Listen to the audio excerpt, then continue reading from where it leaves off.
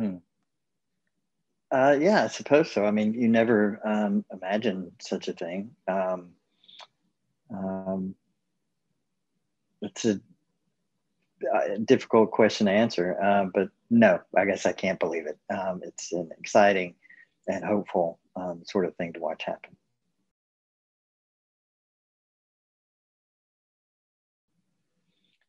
Um, casting the movie was really um, a decision made above my head, um, but it was exciting just as a as a sort of normal person um, and writer to to get to entertain the idea of, of, movie stars playing the people I love the most.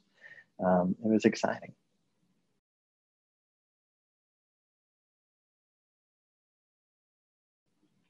Um, I was so glad that we got to shoot the um, the movie here in Fairhope, Alabama, um, which is where I live, and um, I think it, sort of imbued the the the entire project with something that you would have a hard time getting um, at some other remote location because um, everybody here in town uh, knows my family. They knew my wife.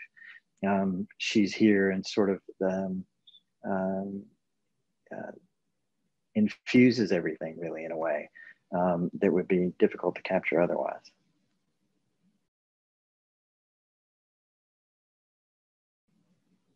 Um, Dane and I are doing well. Um, uh, a couple of years ago, he met a wonderful young lady and married um, in New Orleans, and they're doing well. Her name is Kelly, and um, they're doing great.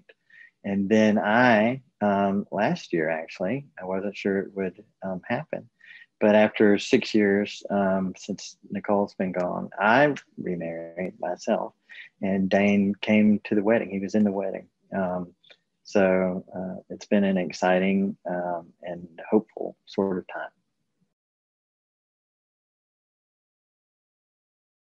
This has been such a difficult season um, for so many people, a difficult year.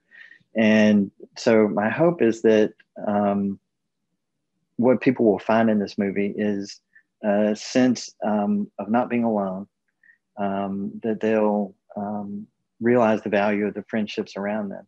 And it's a movie too about holding on, really, uh, just enduring hard times with the hope of joy on the other side. And um, if people can find that, even if it's just for a couple of hours while they watch the movie, I'll find that to be entirely gratifying.